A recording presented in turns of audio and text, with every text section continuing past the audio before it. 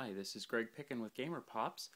Tonight we got something really cool to take a look at. It's Mega Bloks line of uh, World of Warcraft toys. Um, here we've got two of the, the 13 sets we were able to take a look at. The big one in the back is the Goblin Zeppelin um, ambush. You can see you've got the big airship there, three figures on board. And then over here we have this small little uh, ballista that you can launch to uh, try and take it out. In front, we've got the Baron's um, Chase set, set, which includes two different mounts. We've got, first of all, the uh, the rocket, the, the X-53 rocket, which was a uh, one-time special unlockable mount that you could could get. And then we over here we've got an elf with his uh, Night Saber cat mount. As a general, you know, generally looking at these things, I really love the design work on it. The characters especially are incredibly detailed. We'll see if we can get a, a look here. We'll pull this guy off. Hopefully the camera will stay focused. The amount of detail that goes into into these figures with their you know each one has their own distinct armor. The head sculpts are all different on each of these five guys you can see you've got a, you've got like a chest plate, you've got different legs, you've got detachable shoulder armor as well, different arm sculpts. Really, you know, I don't know what more you could ask for in in these kind of detailed little figures.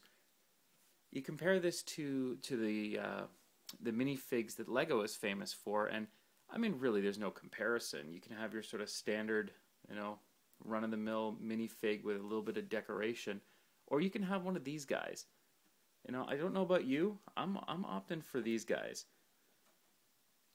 The sets themselves, as you can see, the two different ones. The one drawback to it is they really only kind of make one thing. Um, you know, I'm sure you could try different things with the the Zeppelin set, but really, you know, when you've got this big um, clamshelled kind of you know balloon shape, there's really only so much you can do with it. So really, you know, it's not that much of a you know, build and rebuild kind of set. I think it's more of a build it once, enjoy it, there you go.